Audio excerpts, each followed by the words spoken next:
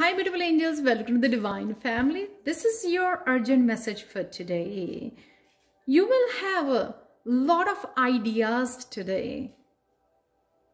So you need to be careful. You don't have to stuck with all the ideas. You need to choose one idea and you have to be flexible enough and you have to be open to all these ideas. Those are coming towards you and also, you need to bring the balance today. Don't try to accomplish so much today and like holding and doing too much. You're trying to accomplish all of it today.